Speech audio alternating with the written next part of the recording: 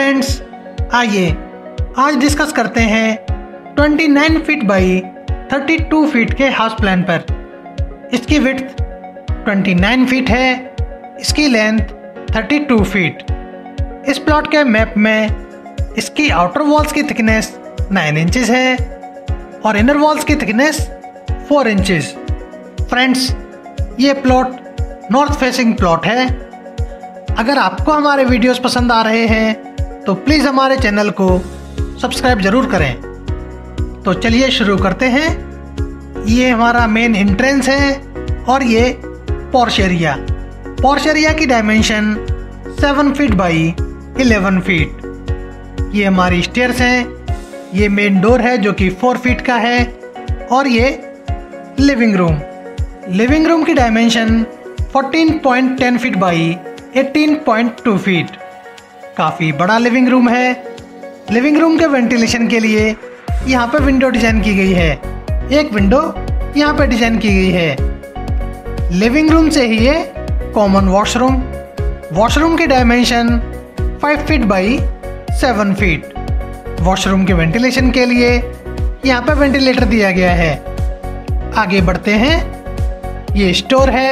Store की dimension 5 feet by 7 feet आगे बढ़ते हैं। लिविंग रूम से ही है किचन किचन की dimension 7 feet by 6.10 feet kitchen के वेंटिलेशन के लिए यहाँ पर विंडो डिज़ाइन की गई है। आगे बढ़ते हैं। ये हमारा फ़र्स्ट बेडरूम है। बेडरूम की dimension 11 feet by 12 feet bedroom के वेंटिलेशन के लिए यहाँ पर विंडो डिज़ाइन की गई है। और ये शाफ्ट शाफ्ट की डायमेंशन 4.10 फीट बाई 4.8 फीट आगे बढ़ते हैं। ये हमारा सेकेंड बेडरूम है, जो कि हमारा मास्टर बेडरूम है। बेडरूम की dimension 11 feet by 12 feet bedroom के वेंटिलेशन के लिए यहाँ पे विंडो डिज़ाइन की गई है। और ये अटैच्ड वॉशरूम वॉशरूम की dimension 4.10 feet by 7 feet.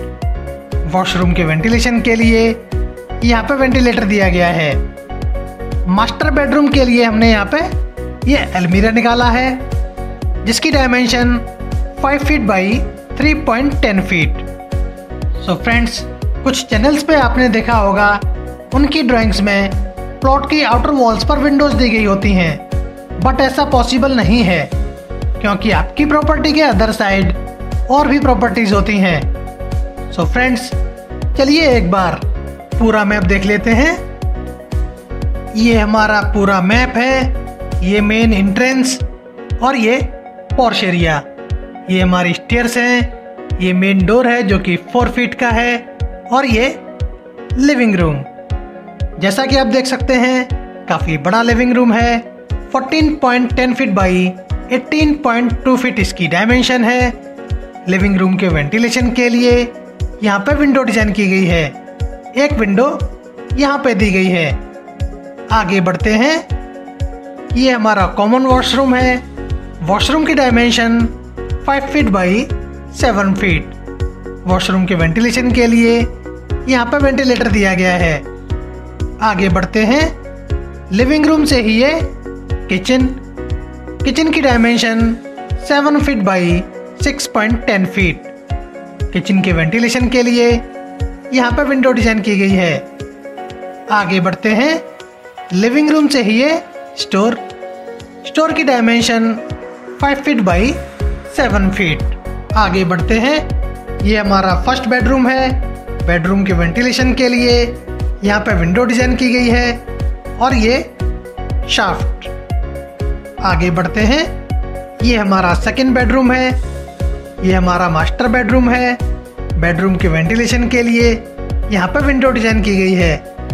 और ये अटैच्ड वॉशरूम वॉशरूम की dimension 4.10 feet by 7 feet washroom के वेंटिलेशन के लिए यहाँ पर वेंटिलेटर दिया गया है।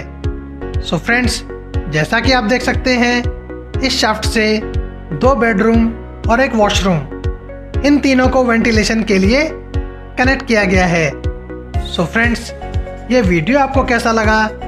आप हमें कमेंट करके ज़रूर बताएँ. और प्लीज़ हमारे चैनल को सब्सक्राइब ज़रूर करें. Thank you